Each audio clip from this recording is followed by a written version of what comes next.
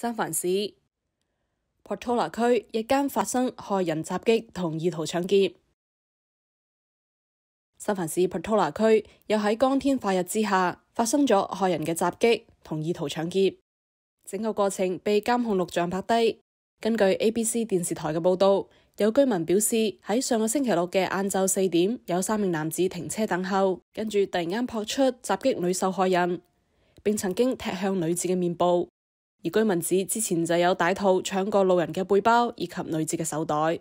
过去两年喺 p e t o l a 地区亦都发生过多次袭击阿瑞嘅事件。有居民相信歹徒系针对呢个地区，系因为靠近高速公路比较容易逃走。天下卫视记者编辑报道。